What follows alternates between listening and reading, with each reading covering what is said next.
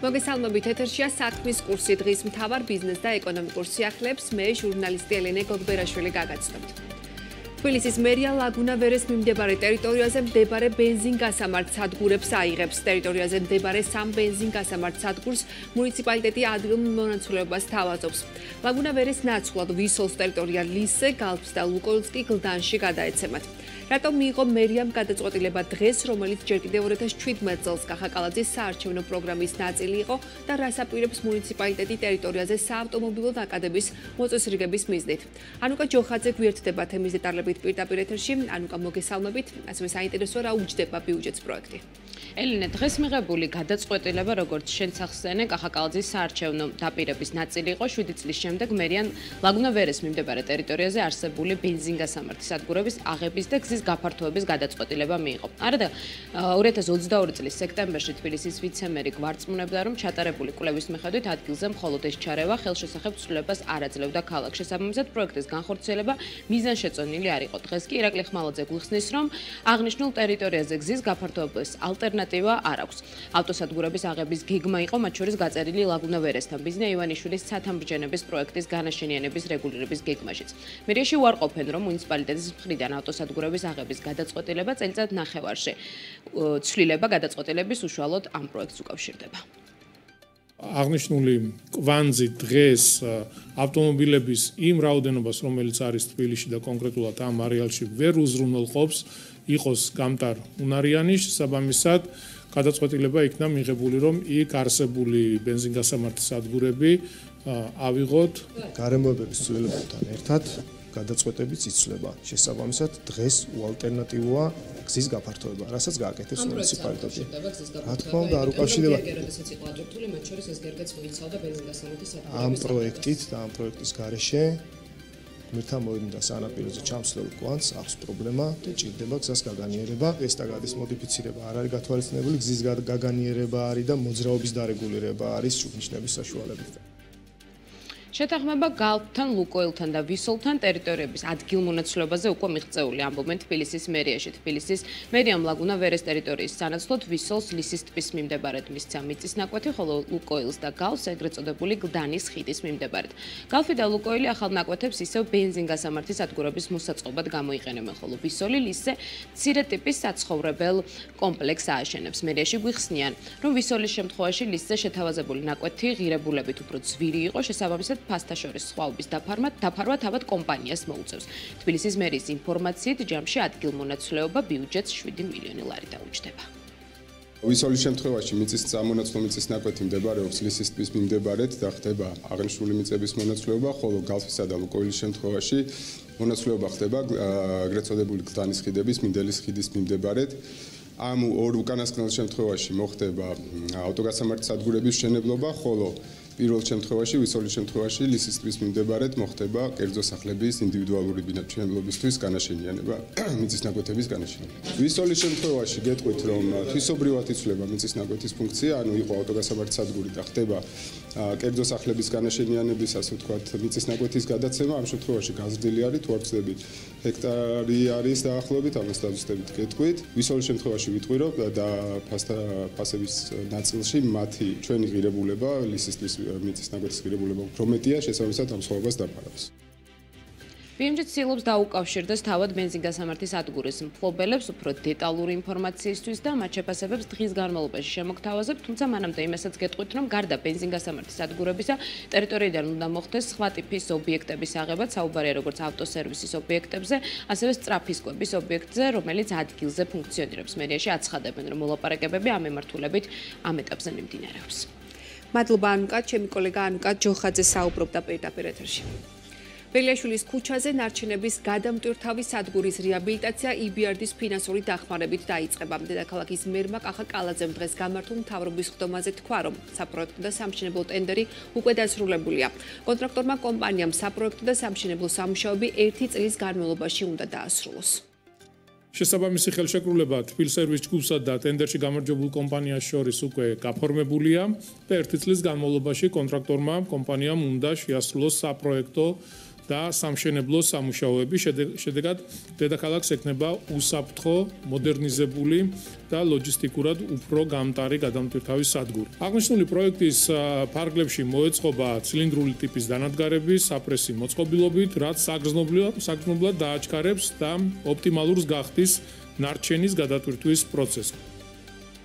1 აპრილიდან აკაკი წერეთლის გამძირსა და მიმდებარე ქუჩებზე ზონალურ საათობრივი პარკირება ამოქმედდება. თბილისის მერის კახაკალაძის განცხადებით ადგილობრივი მაცხოვრებლები ზონალურ საათობრივი პარკირების არეალებში უფასო პარკირებისთვის რეგისტრაციის გავლას და სხვა საჭირო ინფორმაციის მიღებას 1 მარტიდან მუნიციპალურ პავილიონებში შეძლებენ. 1 აპრილიდან ზონალურ საათობრივი პარკირება ამოქმედება წერეთლის გამზირზე და მიმდებარე ქუჩებზე. კონკრეტული ქუჩების შესახებ დეტალური ინფორმაცია ცოტა მოგვიანებით გავავრცელებთ.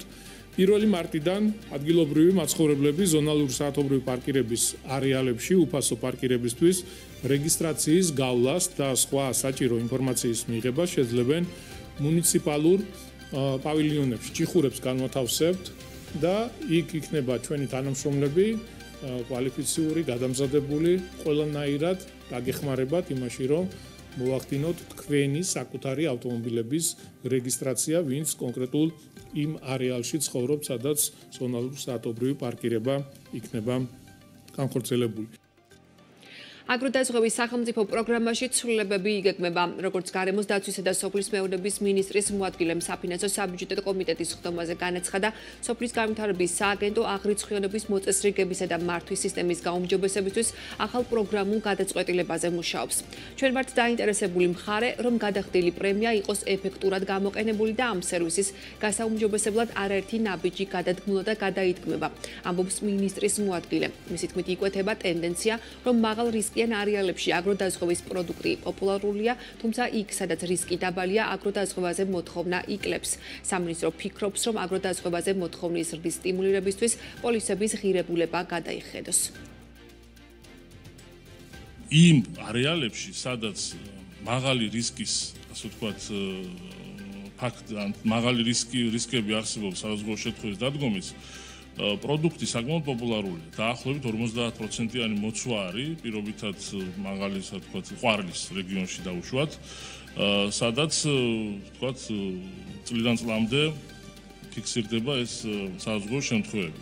თუმცა დაბალი რისკის მქონე არეალებში საზღვაოების პოპულარობა იკლებს. ფიქრობთ, რომ ერთ-ერთი გზა იმისათვის რომ გაიზარდოს ამ კუთხით მოსახლეობაში მოთხოვნა ამ პროდუქტზე არის რომ უფრო იაფი პროდუქტი შევთავაზოთ. ნაკლებ რისკიან არეალებს და შედარებით უფრო ასე ვთქვათ დაბალანსებული შეიძლება ოდნა უფრო ასე ვთქვათ მაღალღირებულებიანი პროდუქტი შევთავაზოთ იმ არეალებს სადაც რისკი დიდია კლინიკებს, სადაც სიკვდილიანობის მაჩვენებელი მაღალი იქნება, სახელმწიფო დაფინანსება შეუწყდება კლინიკების ნაწილმა ჯანდაცვის სამინისტროს ჯანმრთელობის ეროვნული სააგენტოსგან მიიღო გამოფრთხილებელი წერილი, სადაც ნათქვამია, რომ თუ პაციენტების სიკვდილიანობის მაჩვენებელი 6%-ზე მაღალი ექნებათ, სახელმწიფო დაფინანსებას შეუჩერებს. ჯანდაცვის ასოციაციის სამეთვალყურეო საბჭოს თავმჯდომარის განცხადებით, გადაწყვეტილების მიღების პროცესში ჯანდაცვის სამინისტრომ უნდა გაითვალისწინოს, რა სიმძიმის პაციენტები შედიან კლინიკებში. ბაია მახარაშვილის განცხადებით მიხედვით ჯანდაცვის სამინისტრო მხოლოდ გადაუდებელ შემთხვევებს განიხილავს და მხოლოდ საყოველთაოს დაზღვეულებს იღებს მხედველობაში, რა მიდგომითაც ლეტალობის მაჩვენებლის ობიექტური დათვლა შეუძლებელია.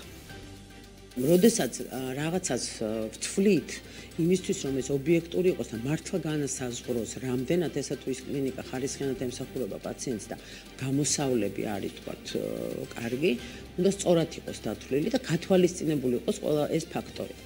კიდევ უფრო ცუდი, რაც აი ამ კონკრეტული წერილის მიღმა ჩანს, თქვათ და რაღაც ის პირადი კომუნიკაციის შედეგად მივიღეთ.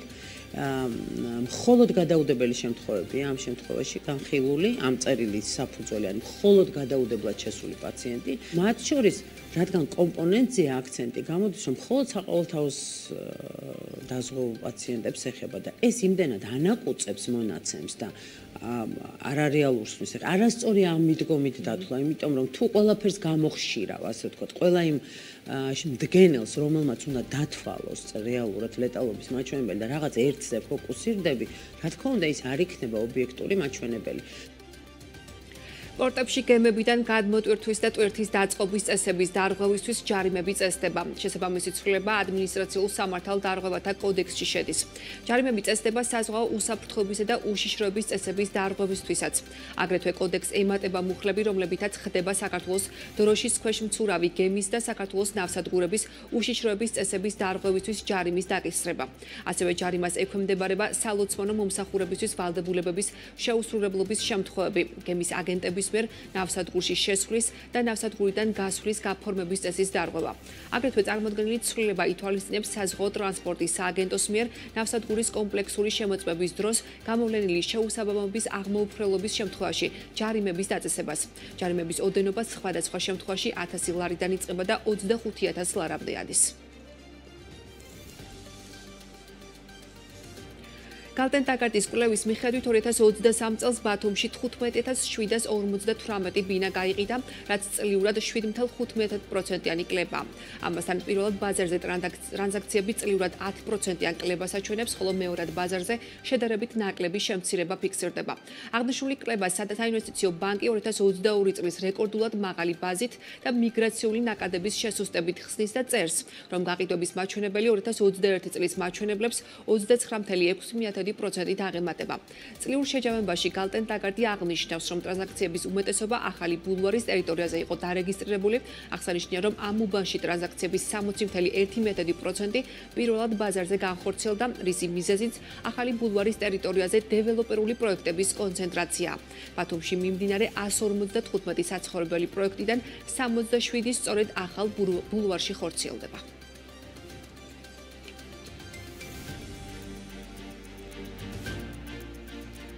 საქმის კურსი ამ დროისთვის დასრულებულია BMG TV-ზე 15 საათსა და 30 წუთზე ბრუნდებით პირდაპირ ეთერში დროებით.